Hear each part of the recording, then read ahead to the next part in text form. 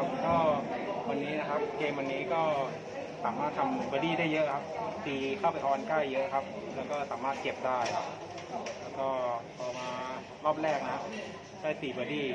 แล้วรอบหลังก็มาได้เบอร์ดี้ก่อนจบอีกสองเบอร์ดี้เหมือนกันครับ ก็วันนี้ก็สนุกดีครับ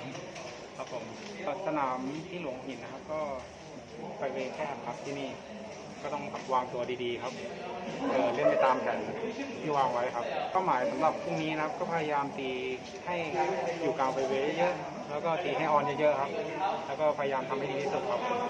ครับ